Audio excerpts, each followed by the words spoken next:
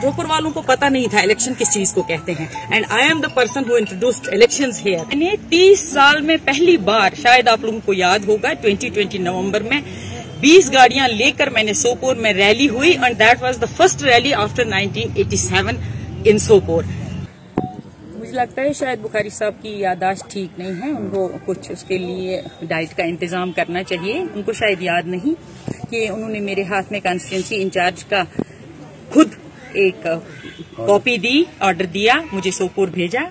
मैंने सोपोर में यहाँ जिसके लिए मुझे एडमिनिस्ट्रेशन ने भी काफ़ी उस वक्त भी एनकरेज किया और अप्रिशिएट भी किया कि मैं दूसरी बात मैंने इलेक्शन का यूएलबी इलेक्शन का ऐसा शोर शराबा and third thing this year I conducted a party convention comprised of 600 people in Dangarpura and Perhaps Bukhari Sahib have forgot these things, all these things.